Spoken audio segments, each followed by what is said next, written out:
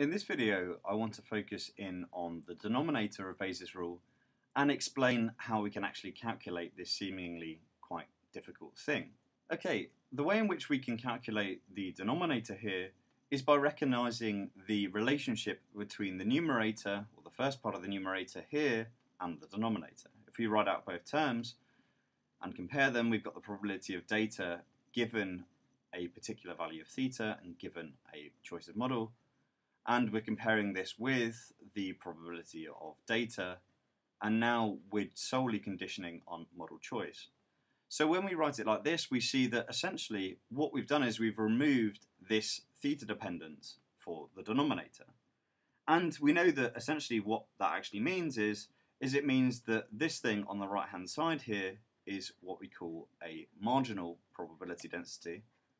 It just looks a little bit more complicated because we're still conditioning on model choice and this is just our conditional probability.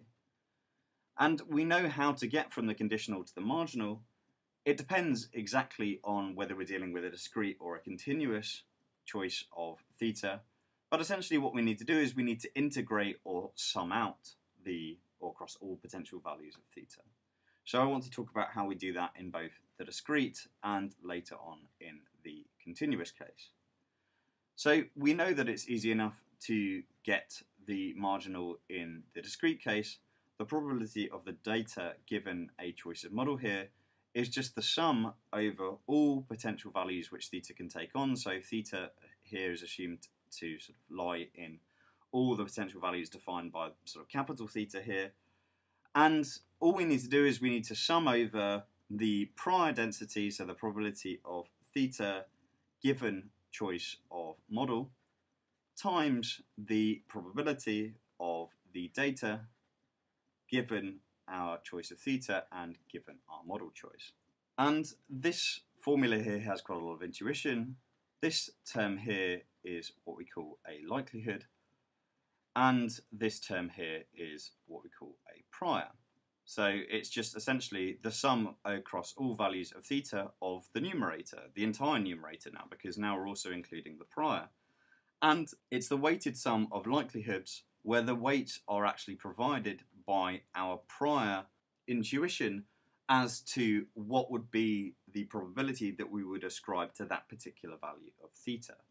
So in that sense, it makes quite a lot of sense because we're just weighting them by which value of theta do we think a priori is most likely. So that's the discrete case. What's the continuous one? Well, the case where theta is continuous is just pretty much the same, except now we need to deal with the continuous analog of the sum, which is just an integral. So now we integrate across, again, all values which theta is allowed to take on, and we just integrate across our prior so now our prior is a continuous PDF opposed to before where it's kind of like a probability mass function times the probability of our data given our choice of theta and given our model choice, in other words our likelihood, and now we're just integrating over all choice of theta. But again, it is essentially all I'm doing is I am weighting each of the likelihoods by our prior probability which we would ascribe to that particular value of theta. So in both cases, it's kind of a weighted sum, and that makes intuitive sense when we actually think about the thing we're actually trying to derive. We're trying to derive the probability that we would have obtained that data given our model choice. And we need to think about all the different ways that we could have got that data given our choice of model. So we need to think about all of the potential values of theta that could result in that particular data being generated. But then we need to weight each of those particular sort of likelihoods of the data being generated from that model and that particular theta choice by our prior sort of weight, which we ascribe to the likelihood of actually having that value of theta before we actually do the experiment in the first place.